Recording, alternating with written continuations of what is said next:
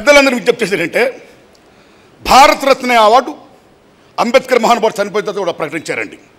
భారతరత్న చాలామందికి చనిపోయిన తర్వాత మరణించినట్టే తెలుగు సినిమా ఇండస్ట్రీ ఉన్న మన గురువు గారికి దాసనాథ్ గారికి పెద్దలందరూ కలిసి from the state government of Andhra Pradesh and from the state government of Telangana and film chamber film council తరపున దయించి రికమెండ్ చేసి దాదాసాహెబ్ పాల్కే అవార్డుని దయించి సార్.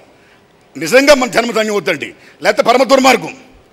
పరమ దుర్మార్గం లేకపోతే ఈవేళ ఈ అమ్మ అవార్డులు కూడా కోరుకోవాల్సి వస్తుంది. అవార్డు కూడా లాబింగ్ చేసుకోవాల్సి వస్తుంది. The fate of the country is like this I'm sorry Balasubrahmanyam garu కూడా పద్మభూషణం not from Telugu from Tamil నమస్కారం. అయ్యా పెద్ద నమస్కారం పెడుతున్నా. కాస్త రికమెండ్ చేసి దాదాసాహెబ్ అని కావాడు. ఏమండి? అరే! విద్యాబాలకి పద్మశ్రీ ఒక సినిమా ఇచ్చి పాడు తెప్పారు. సావిత్రి గారు అటు మహానటిని మనం ప్రపంచంలో చూసావా అండి? యశ్వీ రంగారావు గారు అటు మహానటిని మనం ప్రపంచంలో చూసామా అండి? వాళ్ళు పద్మశ్రీ లేవు.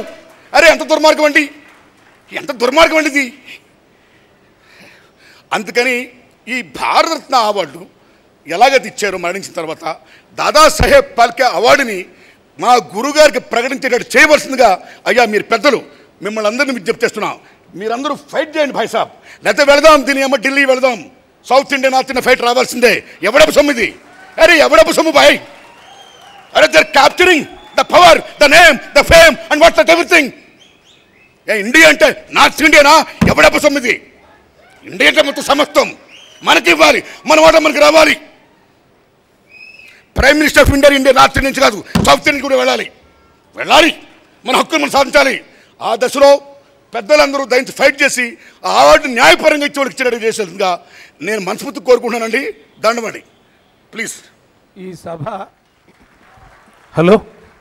ఈ సభ చివరిలో ఇప్పుడు నారాయణమూర్తి గారు చెప్పిన తీర్మానాన్ని మనం చేసి